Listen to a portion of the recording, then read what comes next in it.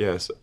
I mean, synthetic RNA is a revolution in medicine that uh, most people are not aware of just how much of a revolution that is. I would say this is like medicine going from analog to digital. And, and that could be the big accelerator here, uh, like during the plague, uh, which also was an accelerator of progress in society and medical progress big times. Yes, it's actually interesting you know, English was, was suppressed in England for quite a long time because William the Conqueror was Norman French. So it wasn't even French French, it was like a different version of French. But that was the official language, and the courts were only in French. For hundreds of years in England, you, if you wanted to go to court, you had to, to either be able to speak Norman French or hire someone who could. And, and then actually the plague got so bad that so many lawyers died in the plague that they, they didn't have enough that. people who could speak French for the courts. So they said, they, okay, we have to have the courts in English because there aren't enough people alive who can speak Norman French. So indirectly, the plague was a trigger of democratization of society.